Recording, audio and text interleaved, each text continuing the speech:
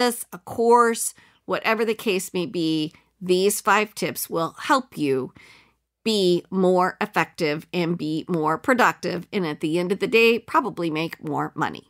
Thanks, guys. We'll see you next time on Work From Your Happy Place. Don't forget to check out our great interviews on Mondays and Thursdays with our business entrepreneurs and our artistic entrepreneurs. They are really pretty fantastic and you don't want to miss out. Always feel free to leave us a review, rate and review because you know what? That's what helps us so much and we appreciate you for doing it. See you next time. Thanks for joining us at Work From Your Happy Place. If you like what you hear, please share it with your friends and be sure to rate and review us on iTunes or Stitcher.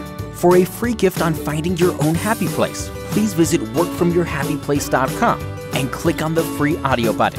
Thanks again for listening.